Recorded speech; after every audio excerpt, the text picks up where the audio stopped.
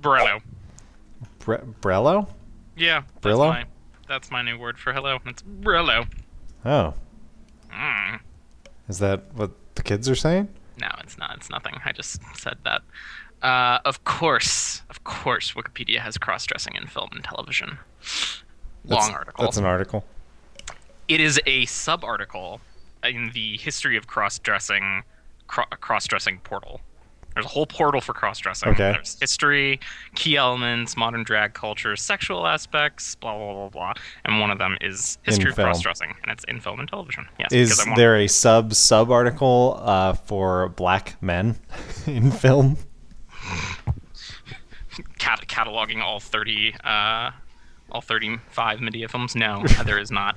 Uh, there's film and video and television is how it's broken up, and then film and video is is chunked out into as a central plot element, as a non-comedic element, as a minor plot element, and as a comedic element, but in a documentary. And there's only one. there's only one thing in it, and it is a. It's a doc- Who even bothered? I it, they wanted to put Rudy Giuliani in it. You know the whole the classic he dressed up in drag for like I think a Donald Trump thing in the '80s, Okay. And you know when he was still like fairly a fairly progressive liberal Republican, and that got trotted out fairly prominently to disparage him in the 2007-2008 primaries. We're a classy bunch. Humans are awesome. So I have to tell you a story, which I think is just fascinating. So my dad bought a computer, and he is not exactly what you would call, you know, computer literate Okay. or whatever whatever stupid thing you want to say. Like he's not very good with computers. He bought a Commodore. No. So his his first computer ever that he'd ever even really interacted with, I bought for him in 2007. And it was this shitty little netbook with an Intel Atom processor, tiny shitty screen, tiny keyboard, but it had a it had a 3G connection. There was there's no internet where he lives. There is no cable at all. Um, it's very very it's really rural. If you wanted to have internet, even now, you have to get it through the air somehow. Now every now they have like 4G towers and everyone is getting their broadband through that, and it's like like you know society has reached this little pocket uh, of uh, of people, but you know he he would use it to play music, to get email, and to look at pictures, and that's it. And then he had to get he had to kind of upgrade it to a slightly bigger, also shitty HP. And but that that that's totally it. Just music, check email, look at pictures that people sent him, nothing else. and he didn't ever develop like what I would call like a model of a computer that that he could use to make predictions about how other things on the computer would work, like the fact that the save dialogue looked one way in Word. He didn't think it, it, it didn't it did not make the connection that it would look like that everywhere else, or that you know the the buttons that look the same do the same thing which isn't to say that he's like dumb or anything. It's just he is uncomfortable with the computer and he didn't use it very much. Okay. So, okay. So, in 2012, I want to say, he got an iPhone. He loves his iPhone. Um, he got a 4S and he's upgraded now onto the 5S and he got my grandma an iPad, which she loves, and now he has an iPad, and he loves them to death. He uses them constantly. All of the guys up there, these like bit like old, you know, these older construction worker, you know, luddite people who made fun of me when they found out I read the New York Times when I was a kid. they all. People were like, Tom, you gotta get stop your son from reading that liberal crap. He's like, it's like, have you? He, he, he was like, have you ever read the New York Times? I don't read that shit. They're all on their iPhones. They love their iPhones. Um, and he does a lot of stuff on his iPhone. He listens to music, but he also he like does lots of stuff on eBay. He orders things from Amazon. He he like he constantly is taking pictures. Uh, he's texting them to people, emailing them to people, getting pictures from people, forwarding. He's doing lots more stuff on it than he ever did on a computer. Okay, so his HP big computer broke, and he started using the netbook, and it had XP. And in April, Microsoft sent out that dialogue that's like, "We're not Yeah. supporting XP anymore." So he got, he was like, "I need to get a new computer," and I'm like, "Yeah, you should probably get a new computer. That computer's like seven years old." So he's like, "I want to get a Mac," and I'm like, "Okay, I can help you with this." Um, and I was sort of pushing him to get an Air, but he went to he had to get a there's no Apple store up there, so he had to get it from a Best Buy. So he, I told him, you know, like the Retina MacBook Pro is a really nice computer, but it's bit kind of pricey, and you know, I don't know if you'll be able to, if you'll be able to tell the difference with the screen or if you care. Well, he saw the screen and he was like, "Oh, it's really way better, and I want that." And you know, it's not. He the price was not. Um, it didn't matter for him, so he, he got that. So I was like, "Cool, that's a great computer. I've used one. You know, I've used one before. My, I, you know, I can help you with stuff if you want. You know, whatever. Blah blah blah." So he calls me uh, on us on last Sunday, and he's like, "Hey, can you help me with some things on my computer?" I'm like, "Sure." He's like, "eBay won't work," and I'm like, "What?" I broke eBay. like, what do you mean eBay won't work? He's like, "It's just a blank white page," and I'm like, so I. I go to eBay and I'm like, it's, it's up. I'm I see eBay right here, and he's like, it's just white. I'm like, well, did you turn it off and on again? No, yeah, unplug it, plug it back in. Blow, you can blow on the cartridge. Um, so I'm like, well, uh, like refresh the page, and he's like, there's no refresh button. I'm like, what are you talking about? And he's like, I mean, I, I downloaded eBay and it doesn't work. And I'm like, what do you mean you downloaded, downloaded eBay? eBay? And he's like, well, I went to the App Store and I typed in eBay and I hit the first one and I downloaded it. And I'm like, oh. He's like he's... in iTunes? No, no, there's the App Store. There's an App Store on the Mac. It looks just like the App Store button on okay. And there is an eBay app. There's an official eBay app on the phone. There's an official Amazon app. All these web services, right. they have official apps because on the phone you get a slightly better experience with the app because they've got native buttons and native web like native scroll views and content collection views and whatever and it just feels better looks nicer and i'm like oh that makes sense to me now so i go to the app store and i type in ebay and the first thing that pops up is this shitty not official ebay app oh fuck that has that has one star and just a bunch of reviews that says like it doesn't work don't use this I, right it doesn't work and and it hadn't been updated since like OS 10.68 or something, like three years ago or something. So I'm like, oh, like that's just a shitty eBay app. You should delete it and just just go to eBay on the web. And he's like, "Oh, okay. I yeah, I guess you can do that, can't you?" I'm like, "Yeah." And I'm like, to me, I'm just like, "How?" Why? It's because he is, missed the '90s.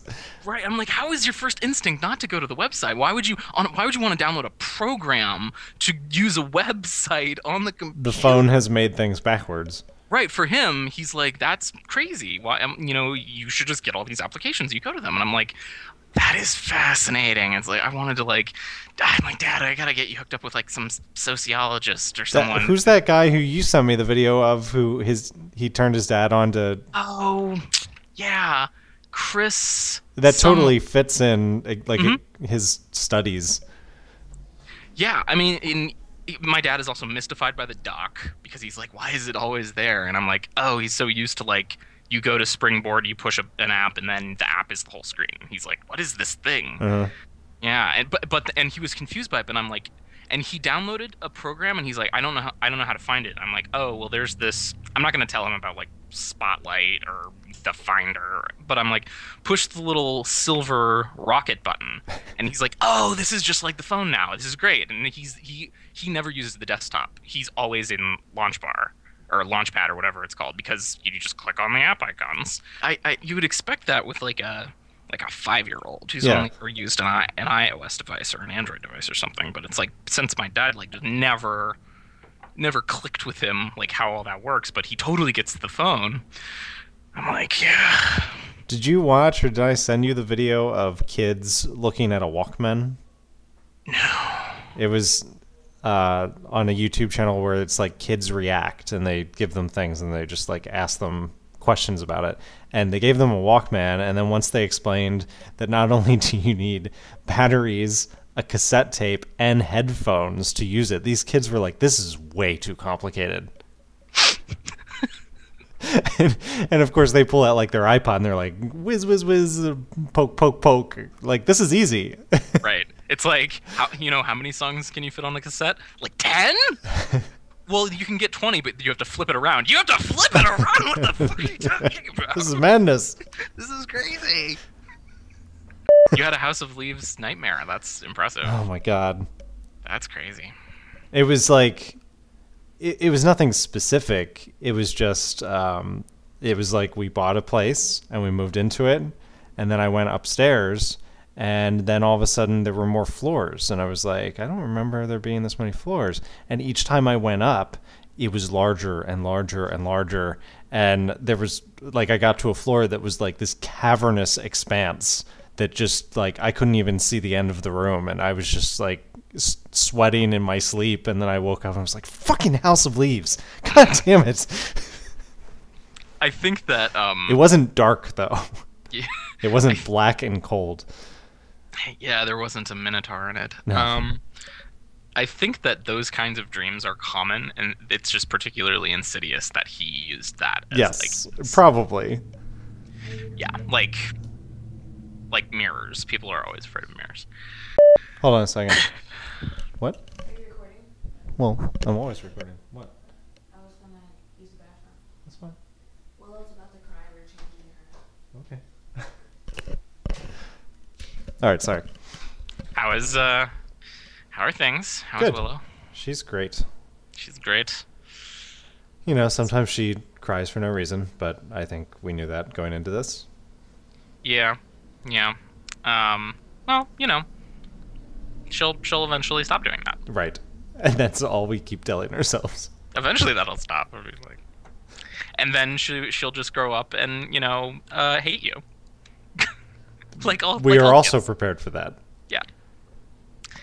no, it's cool thing- because each day she becomes more like a real person and less like a little ball of nerves. yeah, And uh, so each day you get to see her do something that are like, I don't think I've ever seen her do that before. Like I'll give her like little raspberries on her stomach. She's never reacted before. And just this morning I gave her one and she smiled. I was like, ah, sweet.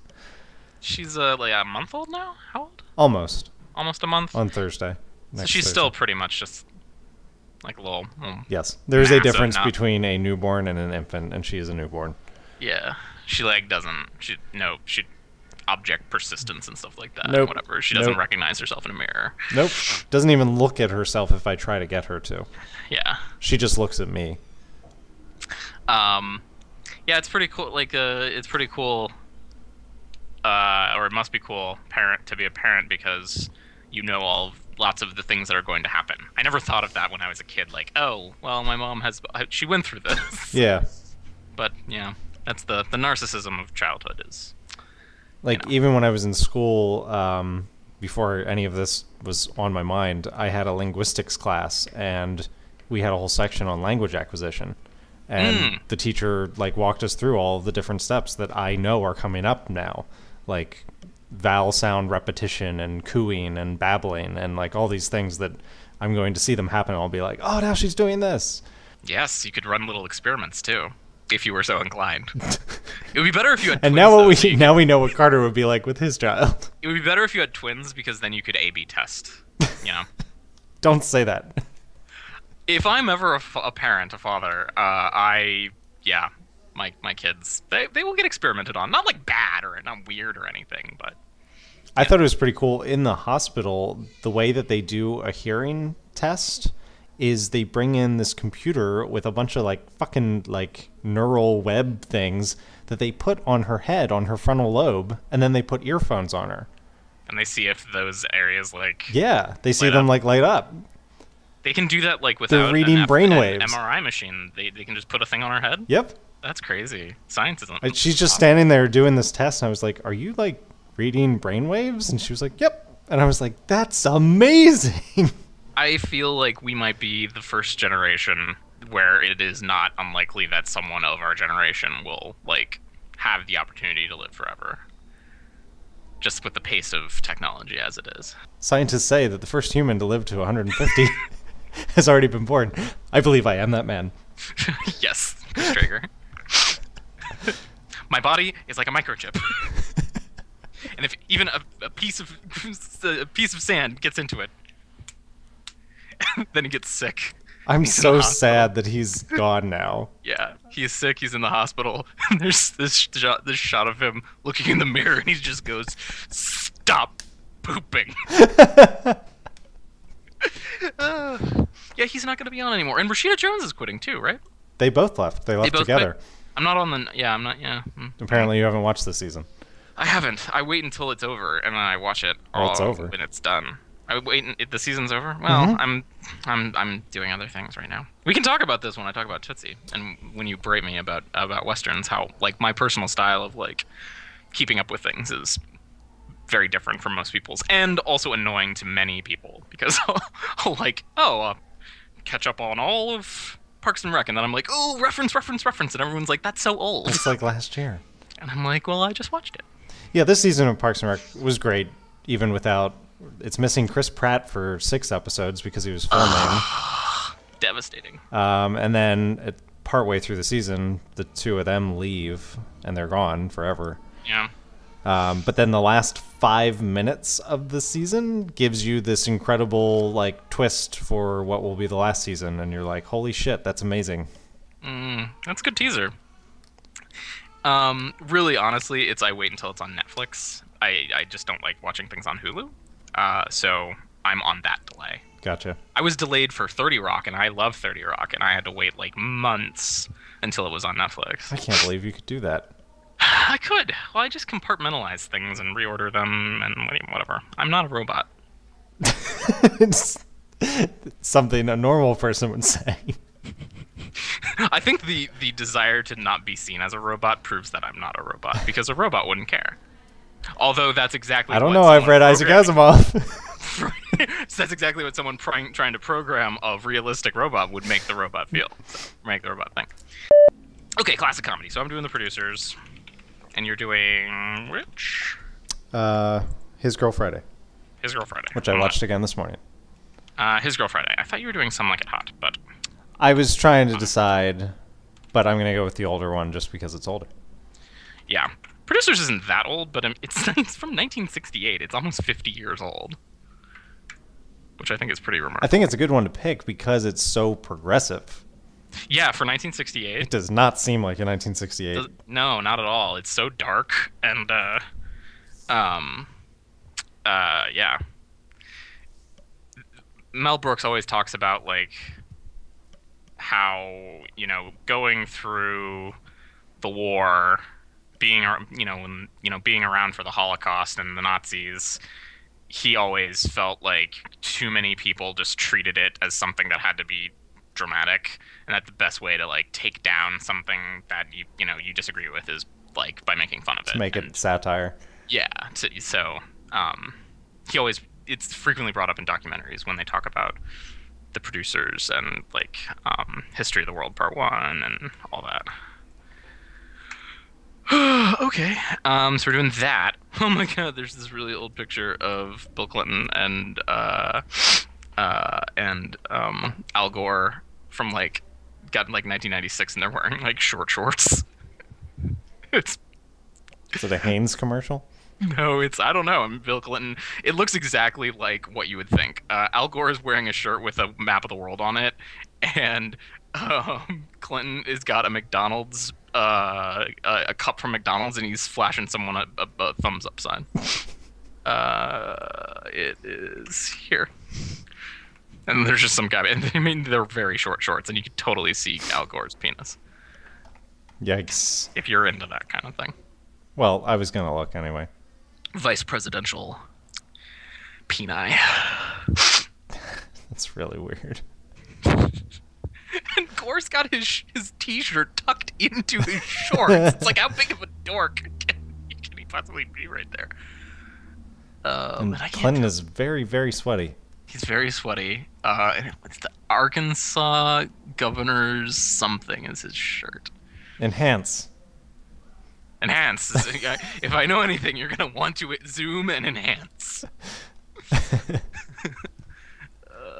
I got my Wikipedia pages up. Old text document. Mute button. Alright, I'm ready to go. Okay. Oh, I go first, though. Yes. Okay. How does. I'm Carter, and this podcast broke the internet. Jesus! It's not like we haven't already done 15 of these. That's true.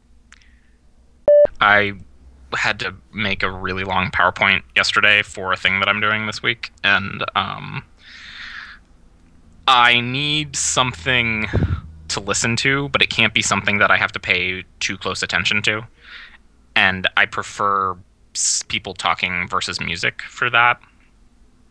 So I was listening to a lot of old This American Life's.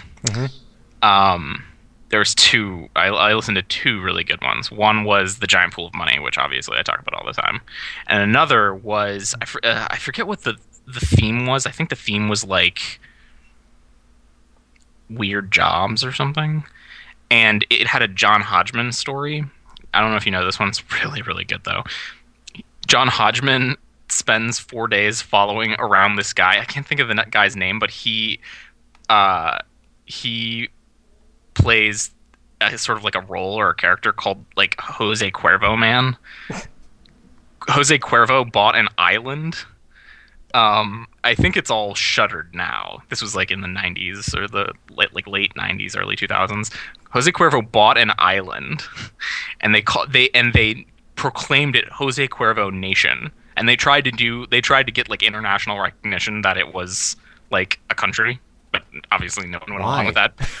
Whatever, promotional stunt, right? You know, and it became a party destination and they got this guy struggling bro- like a stage actor from New York to play ho- like this Jose Cuervo man.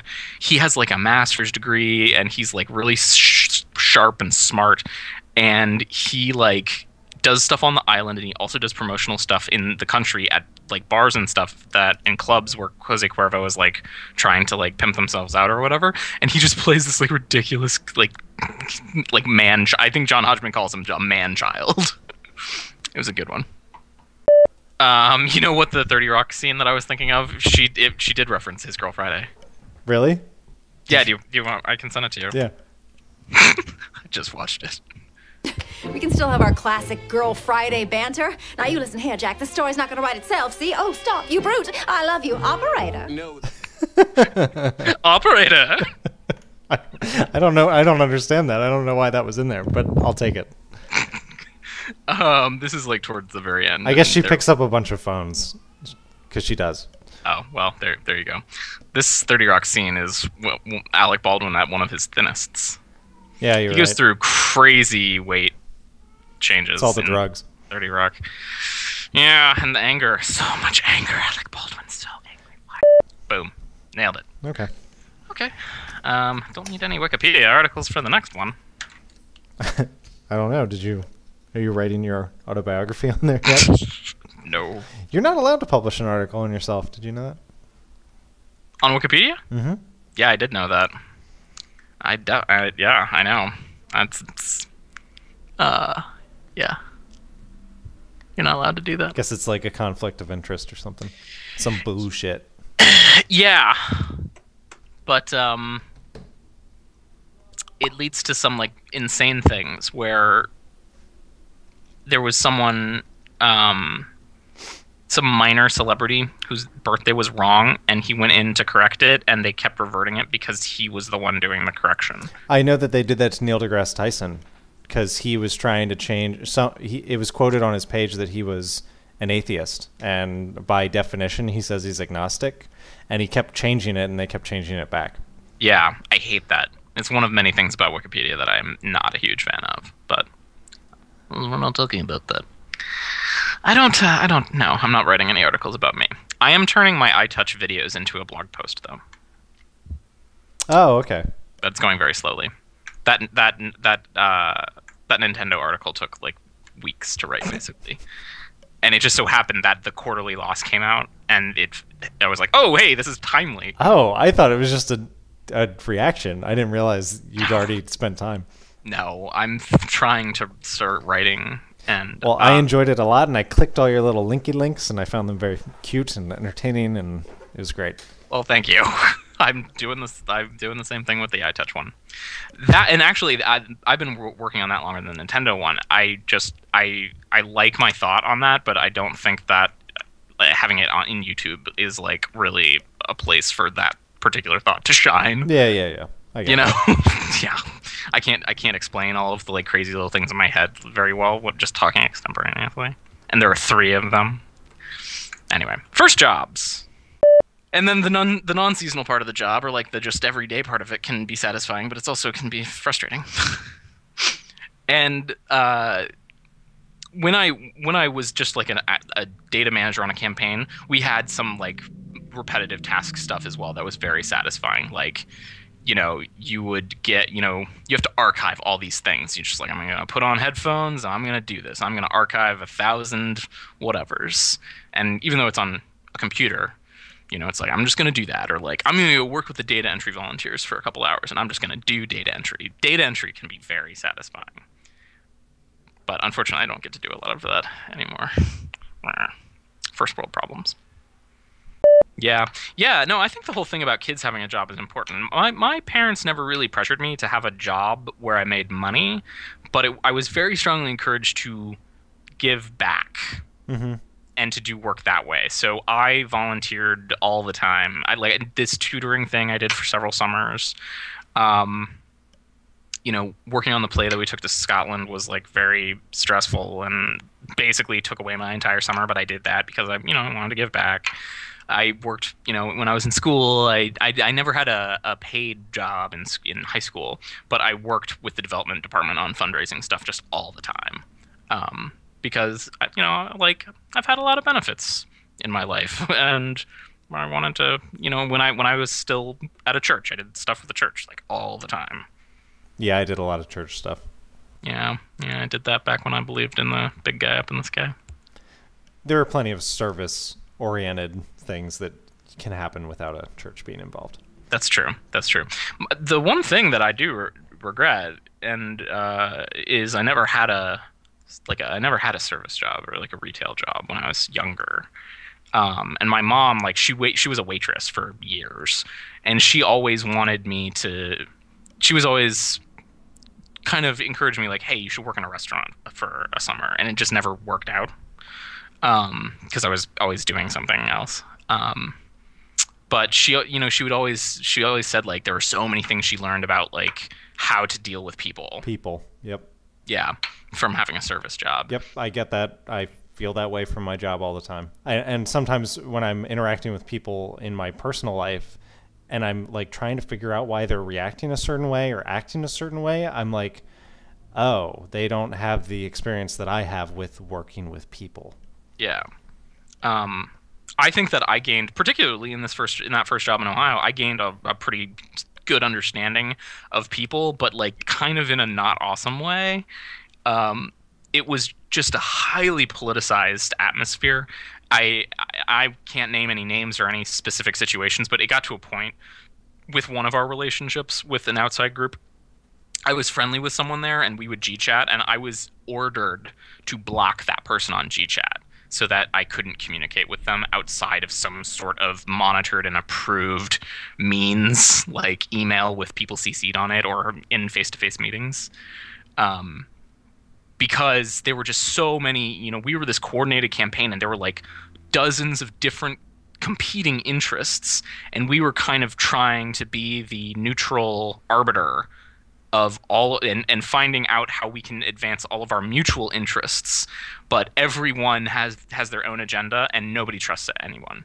So like figuring out how to navigate that kind of situation successfully and also how to build trust with with other people and with other institutions was something that I like became very very aware of.